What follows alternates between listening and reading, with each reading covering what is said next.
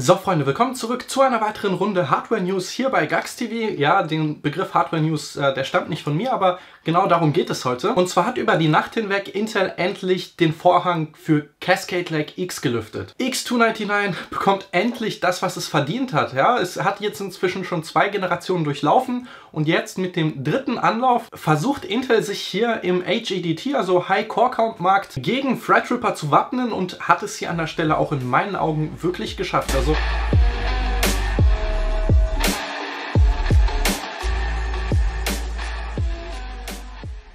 Ich habe eigentlich gedacht, dass Intel für 2019 mehr oder weniger alles liegen und stehen lassen hat und gesagt hat, okay, ja, wir fokussieren uns jetzt auf 2020, vielleicht 2021 an, um zurückzuschlagen. Aber der Konter kam schneller als gedacht, ja mit Cascade Lake X. Es ist tatsächlich soweit. Intel hat es tatsächlich geschafft, jetzt mit X299 hier die Kurve zu kriegen und die gesamte Plattform hier abschließend nochmal zu retten, bevor wir dann nächstes Jahr natürlich die nächste HEDT-Plattform sehen werden mit wahrscheinlich GDDR5. Ja, das ist jetzt eine sehr vage Spekulation und PCIe 4.0, vielleicht auch PCIe 5.0. Zumindest ist das, was Intel hier angehen wollte.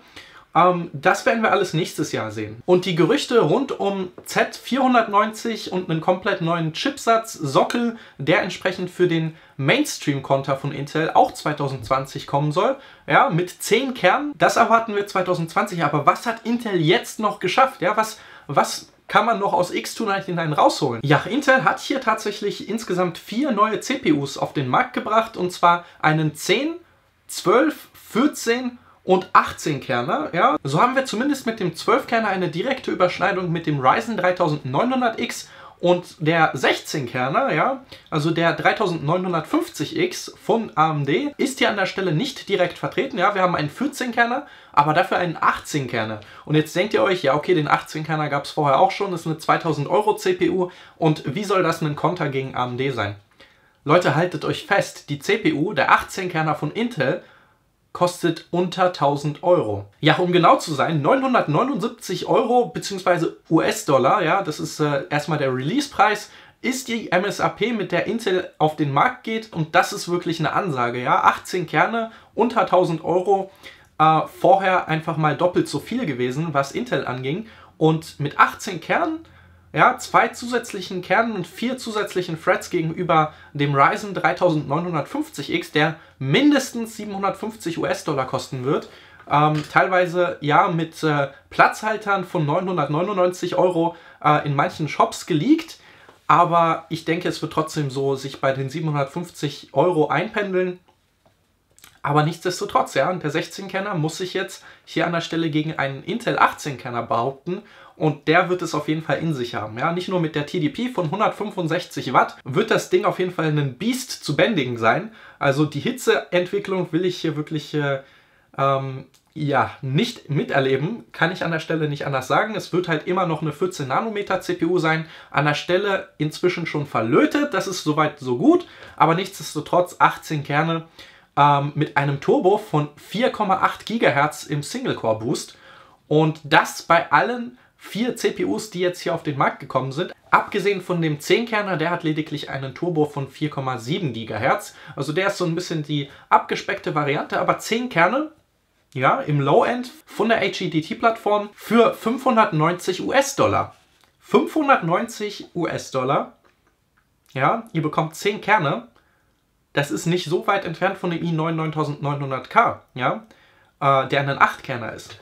Und ja, der hat zwar einen Turbo von 5 GHz ähm, und der 9900KS mit einem All-Core 5 GHz Boost kommt an der Stelle auch, aber der ist bei über 600 äh, Euro angesiedelt. Zumindest konnte man das aus den bisherigen Leaks entnehmen. Und jetzt einen 10-Kerner zu sehen, ist so ein bisschen ähm, die Preview von dem, was wir für nächstes Jahr sehen werden, und zwar im Mainstream. Ja, denn wie bereits gesagt, wir erwarten bereits einen 10-Kerner im Mainstream auf Z490 nächstes Jahr, Anfang nächstes Jahr sogar. Ähm, und diese 10 Kerne werden mit größter Wahrscheinlichkeit ebenfalls auf 14 Nanometer plus plus plus plus plus basieren, aber die 5 GHz bringen können. Und das im Mainstream zu sehen, ist natürlich eine direkte Reaktion auf AMD. Ja, den Fertigungsprozess von 14 Nanometern nochmal ausgebeutet, alles was noch geht, eben ausgeschöpft und auf den Markt losgelassen. Das wird auf jeden Fall eine interessante CPU und ein interessanter Chipsatz sein, den Intel eben sehr, sehr kurzfristig als Konter gewappnet hat. Wir nennen ihn einfach mal den i9 10900K, ja, so wird das Ding heißen, also 10900K.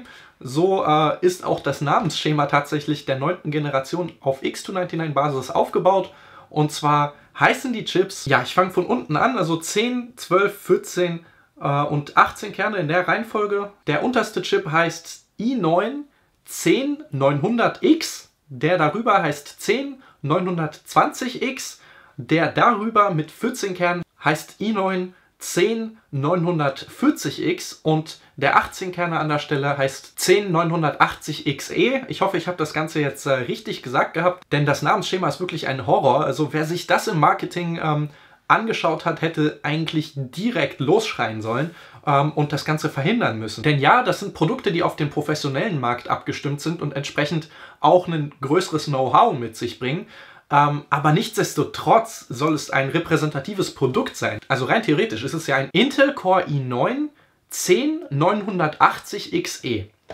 Ja, aber was ist das? Wer hat da seinen Stempel abgegeben und äh, das Ganze abgesegnet? Äh, ich, ich, weiß es wirklich nicht. Also wer da in Intel im Marketing sitzt, da kann man sich immer nur wieder an den Kopf fassen. Aber die Preise, ja, die Preise, die haben sie sich echt gut überlegt gehabt, denn wie bereits gesagt, der 18-Kerner kommt mit 979 US-Dollar daher, der 14-Kerner mit 784 US-Dollar, der 12-Kerner für 689 US-Dollar und damit äh, ja ein bisschen weiter entfernt von den 529 Euro, die an der Stelle der Ryzen 3900X kostet, aber HEDT gegen X570 äh, Chipsatz zu vergleichen, ist natürlich nicht ganz fair, deswegen muss man an der Stelle ein bisschen abwarten, was Threadripper 3000 kosten wird und mit was für CPUs vor allem AMD sich dort aufstellen wird. Ob sie die 12 und 16 Kerne an der Stelle auch auf den Markt bringen werden oder vielleicht einfach nur High-Core-Count-Chips äh, im Bereich von über 16 Kernen. Ja, wir sprechen von 24, ähm, 32 und 64 Kernen. Also das ist zumindest das, was man ungefähr äh, vermutet. Aber ein unteres Threadripper-Segment wäre an der Stelle angebracht, alleine um X299 und Cascade Lake X ein bisschen vorzubeugen äh, und was entgegenzusetzen. Jede dieser vier CPUs kommt mit insgesamt 72 PCIe 3.0 Lanes. Das heißt, ja, wir sehen hier immer noch kein PCIe 4.0, aber 4.0 ist auch eigentlich nur eine Übergangsphase, bis PCIe 5.0 tatsächlich nächstes Jahr auf den Markt kommt und entsprechend für X570 ein nettes Feature, ja, einfach eine Möglichkeit, sich gegenüber Intel nochmal ein bisschen mehr abzusetzen. Und zwar nicht nur durch den Preis, sondern eben ähm, ja, einen größeren Feature-Set, aber eben nächstes Jahr redundant äh, und entsprechend auch abgelöst durch PCIe 5.0. Ursprünglich habe ich in meinem vorherigen Video rund um Threadripper 3000 und die aktuelle Newslage sozusagen gesagt gehabt, dass im Oktober Cascade Lake X kommt. Das ist soweit auch richtig, zumindest von den News. Ja, wir haben jetzt äh, die Preise, wir haben ähm, das gesamte Line-up also wir wissen, was da kommt, aber es kommt nicht im Oktober. Ja? Das Ganze wurde auch für den November angekündigt. Das heißt, im November werden wir genauso wie Threadripper und genauso wie den Ryzen 3950X von AMD entsprechend das Ganze dann im Handel sehen. Und das wird ein echt interessanter Kampf. Wer entsprechend hier die Führung gewinnen kann, ähm, das ist wirklich die Frage. Es wird auf jeden Fall neue X299 Boards von den Boardpartnern geben. Es sind schon sehr, sehr viele ähm, Boards über die Zeit verschwunden. Also sei es jetzt das ASRock ITX oder das MSI MATX, das ich bereits auf dem Kanal vorgestellt hatte. Diese Boards sind so nicht mehr erhältlich. Deswegen vermute ich, dass wir für den Refresh auch ein bisschen ähm, ja, aufpolierte Boards sehen werden. Aber nichtsdestotrotz sind sämtliche vorherigen Boards auf X299-Basis eben mit einem BIOS-Flash für die neuen CPUs gerüstet. Also da müsst ihr euch keinen Kopf machen. Wenn ihr letztes oder vorletztes Jahr in X299 investiert habt, ähm, ist das Ganze immer noch aktuell, finde ich soweit gut. Ja, da hat Intel jetzt an der Stelle ein bisschen äh, Courage gezeigt und ein Produkt rausgebracht, das erstens ja, die Hälfte kostet und zweitens einiges an Performance mit sich bringen wird. Denn 4,8 GHz im Single-Core-Boost bei einem 18-Kerner sind schon eine Ansage und ob wir dann im OC vielleicht die 5 GHz ähm, mit dem einen oder anderen Chip sehen werden, ob jetzt 10, 12, 14 oder 18 Kerne, ähm, das werden wir natürlich herausfinden. Die Frage ist natürlich, äh, welche dieser Chips ähm, interessiert uns am meisten? Und Ja, der 10-Kerner scheint recht interessant zu sein, vor allem weil er uns einen Eindruck davon geben wird, was wir von einem 5 GHz 10-Kerner 2020 zu erwarten haben, also wenn das Ganze in den Mainstream kommt ähm, denn 14 Nanometer bleiben 14 Nanometer. Deswegen denke ich, dass es zumindest die günstigste Möglichkeit für uns wäre, hier einen kleinen Eindruck zu bekommen. Ich bin auf jeden Fall gespannt, was ihr davon haltet. Also schreibt vielleicht in die Kommentare, wo ihr vielleicht den Fokus für den Kanal in den nächsten paar Monaten äh, sehen wollt. Also sei es jetzt Threadripper 3000 bis sagen wir 16 Kerne, würde ich mitgehen. Darüber hinaus ist es einfach nicht mein Anwendungsbereich. Oder Ryzen mit X570 und dem Ryzen 3950X mit 16 Kernen, der für mich auch sehr, sehr interessant ist. Keine Frage, vor allem von der Preis-Leistung. Oder tatsächlich X299. Denn das stand für mich eigentlich gar nicht zur Debatte, aber nachdem ich die Preise jetzt gesehen habe, ja, wie sich Intel hier mit 18 Kernen aufstellt, ist das Ganze natürlich echt spannend und äh, vor allem der 10-Kerner ist tatsächlich attraktiv. Kann man nicht anders sagen. Ähm, ja, äh, ist natürlich nichts, worauf ich langfristig setzen würde. Ich habe bereits durchsickern lassen. Ich habe in meinem Laptop den i9 9980 HK, also einen 8-Kerner drin, mit denen ich primär arbeite. Und in meinem Gaming-System einen Ryzen 5 3600 mit einem B450-Board, womit ich auch überglücklich bin.